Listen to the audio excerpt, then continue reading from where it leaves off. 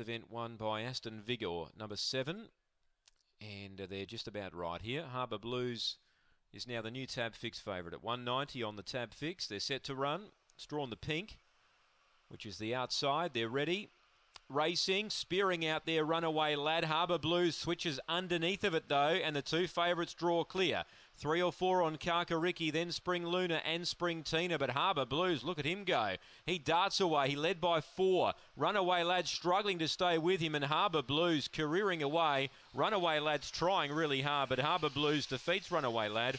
Kakariki got home in time for third. Spring Luna's got fourth, and Spring Tina last in. The time visually looked okay.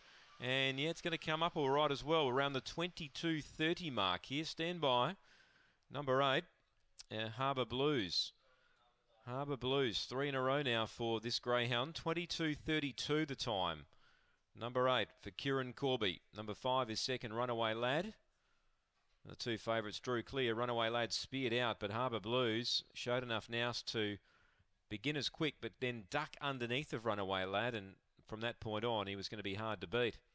One third, Kakariki. Two fourth, Spring Luna. Three lengths the winning margin by three and a half. Three by three and a half. 5.07 the early sectional. 13.36 the second split.